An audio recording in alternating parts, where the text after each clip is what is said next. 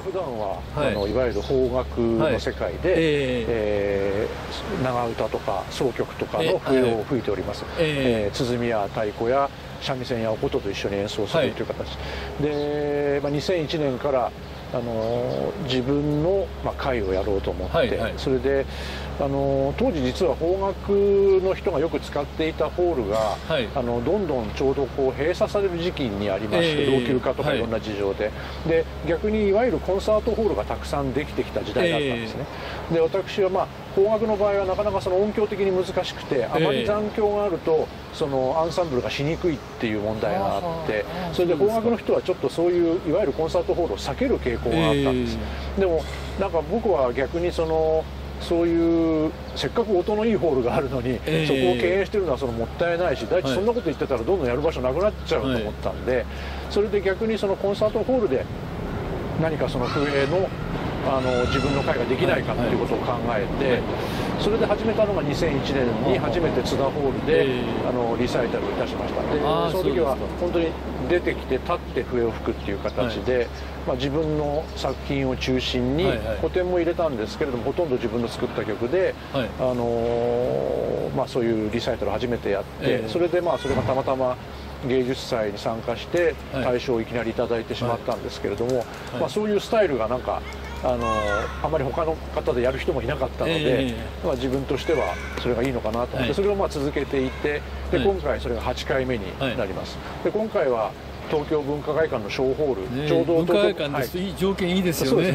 で、ね、あのあんまりそこは邦楽の人はやっぱりやってないと思うんですけども、はいはい、あのまあたまたま私は文化会館と同い年っていうこともあって、えー、それからあの芸大時代は毎日あそこの前を歩いて通いましたし、はい。はい、あと子供の時 NHK の児童館所が入ってて、あのあそこで大ホールで、まあ、例えば N 響のコンサートに出て歌ったりもしていたので、何か懐かしい感じもあってで一度部会館でやりたいなと思っていて、はい、まあ、今回それが実現したという感じですね。でですから、まあ、あのそこで、えーまあ、自分のその笛の作品、はい、自分の考える、まあ、笛の新しい世界っていうんですか、はい、それをこうそこで発表したいと思いまして、プログラムを組みました。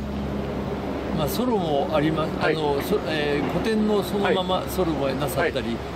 そうですね。あの毎回ソロを2曲やっていて、はい、1つは古典のものを、あの笛の古典のソロ実は笛の古典というのはほとんどそのさっきも言いましたように三味線と一緒だったり、はい、あのお囃子と一緒だったりするんですけれども、えーはい、それを笛だけで取り出して、はい、笛のソロでやったらどうなるかっていうのを、まあ、毎回やってるんですね。それがまあ新しいものを作るのと古典の様式の演奏とのまあ中間にあることなんじゃないかと思っていてでそれをまあ今回は「サンバソー」という曲を能管でソロでやります、それからもう一つは毎回やってるのはあのソロシリーズっていうのを自分で作っていて、はい、えー、ソロ01から0203というふうに作ってきて、やっと今5曲目なんですけど、はい、ソロ05ということで、あのやってきました。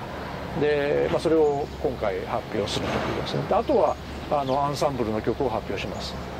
中川さんという良きパートナーを得て、はい、シャシャコンなさるんですよね、はい。はい、そうですね。あの、まあ、中川さんとは2002年からい。ろいろあの一緒にさせていただいて、えー、ちょうど10年前に私の3回目のそのリサイタルで、えー、シャコンヌをあのチェンバロと笛でさせていただきました。でそれから10年経ったので、えー、その間にあの中川さんとはゴルドベルグ変奏曲を全曲やったりとかいろんなことをやってきましたのでまあ、10年経って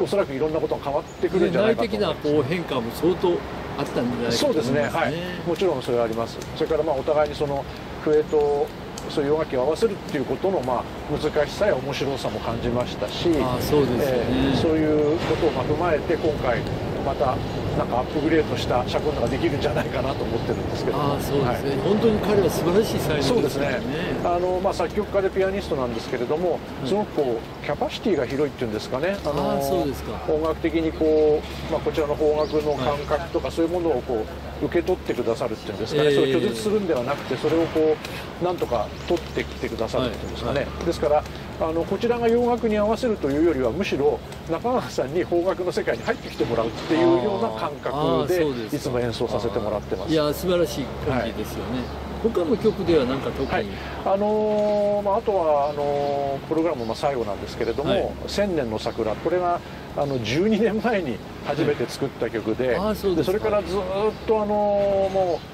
その削ったり増やしたり編成を変えたり、い、ろんなことをやってもうだいぶ元の形とは全然違ってしまってるんですがそれを今回あの、まあ、新たなバージョンで、あの笛とピアノと尺八と太棹三味線っていう、はい、まあ、ピアノ以外は全部邦楽器なんですがその4人のアンサンブルで発表します、えー、あそうですか、はい、じゃ特にあの、えー、曲についてのことで何か他に？お話ください。そうですね。あとはあの、まあ、もう一曲笛のソロで「はい、あの今日の夜」という曲があるんですが、はい、それは私の師匠が、はい、あの作られた曲で実は私は今回8回目のリサイタルになるんですけれども、一度もまだうちの先生の曲をやったことがなかったんですね。それでよその会ではやってるんですけれども自分の会にはなんか取り上げずに来たのでちょうど今年、まあ、師匠の七回忌に当たるということもありまして、じゃあまあ先生の曲一つやってみようと思いましてそれでその今日のまあ商品なんですけれども、はい、それを吹かせていただきます。で今ちょお手もしてらっしゃる笛についてもちょっと、はい、あの少し上目に上げていただいた方がいいですね、はい、そのぐらいの高さで、はい。あの私が吹いてる笛は、はい、あの忍笛とそれから銅管という楽器があります、はい、えー、忍笛はいわゆるあのお祭りとか皆さんのご近所でもよく聞こえてくるいわゆるピーヒャラピーヒャラという笛ですね、えーはいはい、あれはやはり当然日本の古典の音楽の中でも活躍していまして、はい、まあ、あのフルートやリコーダーにもちょっと似てる感じですけれども、はい。まあ、いろんなメロディーが普通に吹けるあの、まあ、あの皆さん多分おなじみな笛だと思うんですね、はい、これは実際にはいろんな長さの笛がありまして、あの調子が変わると笛を変えるというようなことをしています。それからもう一つのこちらは脳幹といいまして、はい、あのお能で使ってる笛なんですがあそうなんですか。まあ、能以外にも歌舞伎とか、はい。えー、いろんな長唄なんかでですね、はい、あの脳幹が使われております。非常にまあこう見た感じもちょっとごついというか、はい、あのなんて言うんでしょうちょっとこううん神秘的な音というんでしょうかね。日本的な感じのするいわゆる普通の音階とはちょっと違う感じの音と音色がします。ですから、まあ、私はこの両方を使って、はい、あのー、まあ、私は普段古典で演奏している長唄の中でもこれは両方出てくるので自分の作る曲でも、まあ、両方これを使い分けて、あのー、まあ、いろんな世界を表現したいなと思っています。あのそれではこれからですね、はい、どういうことを考えていらっしゃることを最後にお伺いしたいと思っております、はい、そうですね。あのー、まあのなんて言うんでしょう日本の笛は僕はとってもいい楽器だと思ってるんですけれども、えーはい、あのなかなかやっぱりその邦楽っていうとこうどうしてもこうなんて言うんでしょうね、えー、洋楽の好きな方からするとちょっと分かりにくい音楽っていうイメージがあると思うんですけれども、えー、でも笛の音っていうのは割とこうなんていうんですか世界どこにも笛があると思うんですけれども、はい、何か割とこうそういうその知識とかがなくても割とこう聞きやすい楽器の音だったんですね。でしかも邦楽の中で笛っていろんなジャンルに関わっているので、はい、邦楽の中でも割とこう幅の広い楽器だと思うんですですか。らそういう楽器をやっているので何かそのこうなんですかね垣根にこだわらないというか、えー、あまり国境にこだわらないそういうこう自分がとにかく面白いと思えるものを、えー、あのこう作っていって。何か新しい何かそうですね。あの広がりが、はい、世界が広がればい。い。ですよね。はいはい、そうですね。なんかあの本当にこういろんな可能性のある楽器だと思うので。ね、はい。からあまりその前提条件をつけずにいろんなことをやっていきたいと思っています。はい、はい、あそうです、はい